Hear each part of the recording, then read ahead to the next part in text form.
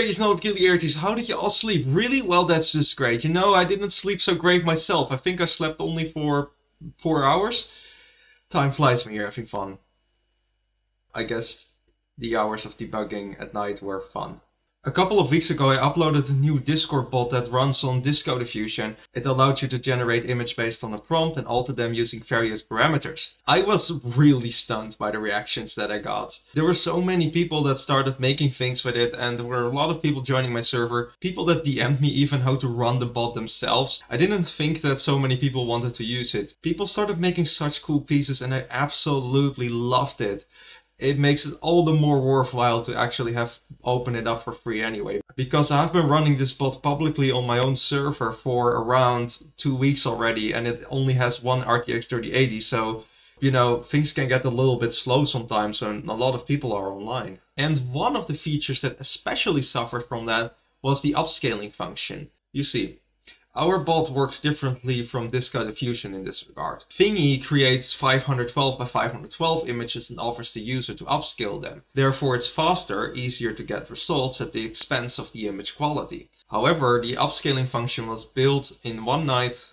and it wasn't really that good. The process of the old upscaling function goes something like this. You take the 512 by 512 image, you double its resolution, you add noise on top of it, and then let the same clip model and same diffusion model denoise the image again, which then adds more details to it.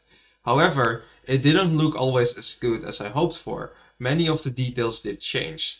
Another problem with it was of course that you are forced to run the clip model and the same diffusion model, which are quite heavy. While I probably could have tuned the parameters to get a more clear image, such as reducing the clip guidance scale, it still didn't stick with me. For instance, you would have to run the same clip model and the same diffusion model, which both are quite big. Enter diff2x. Diff2x is a small diffusion model that instead of going over the whole image, will instead take tiles of 32 by 32 pixels and upscales them to 64 to 64. And because it's doing it in tiles, you can already guess, it doesn't take as much memory. And because the model is also small, loading the model is also not a big problem. In fact, I can even run diff2x in addition to the image generation models. This means one user can upscale an image while the other user can generate a new image at the same time on a single RTX 3080. Whoa! And this model is based on SR3 by Google, which is an iterative refinement model, which means that it adds more detail. It doesn't necessarily try too hard to generate a whole new image that just looks bigger. This means that your image looks largely the same, however more detail gets added, something that most other models don't do. So the artifacts are very minimal. And because it is tiled, it doesn't matter how big your image really is that you want to upscale, allowing you to go from normal to big to great. So yesterday before making this video, or um, actually last night, I was testing the model on private beta on my server. However, the quality that you will see at the moment of recording this video at least, is less than what you'll see on GitHub on the source code because the quality parameters are tuned down so that the generation is faster.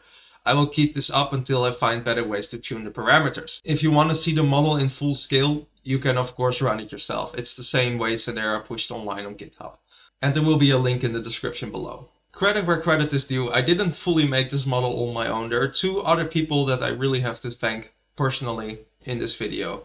I'm really grateful to Kianne because of their feedback. They really helped me to see what's in the ecosystem because I'm really new to the OpenAI ecosystem. I mean open source AI, not OpenAI. And they really helped me to show what was already there and what wasn't, allowing me to focus purely on the things that really matter while at the same time keeping my own requirements in mind. Another person I should thank who wishes to remain anonymous, but I just couldn't not mention them because I feel like they did really a lot to make this work.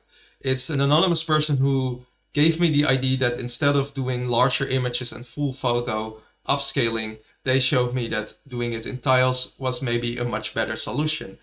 While I was already planning to do it in tiles, the training was going on full images. So I'm really grateful for them to let me know that training on tiles will be just as good and that really pushed me in the right direction. So random anonymous person, thank you very much. Well, that's it. There will be a GitHub link in the description below. Everyone can download it, they can install it, they can integrate it in their own bots if they want. If you want to see the upscaling model live, you can go to my server and see it run there using the upscale function. If you're going to bed, of course, you need Dragon's Peculiarities. Have a nice weekend. I hope to see you next time. Bye for now.